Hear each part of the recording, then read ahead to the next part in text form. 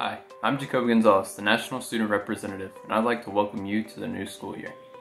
In my role as National Student Representative, I sit on the ASLA board where I have the opportunity to shape our professional society, where my voice, and by extension yours, is heard.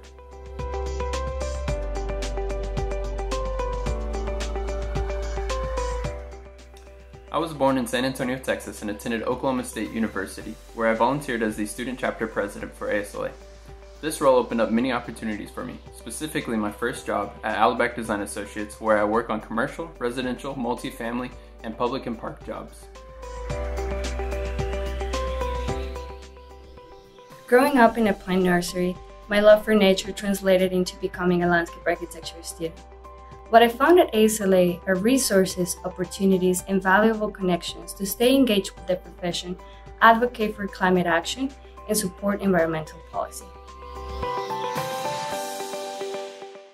In the past, ASLA put little to no efforts towards social and racial justice. But recently, I've seen the possibilities for change.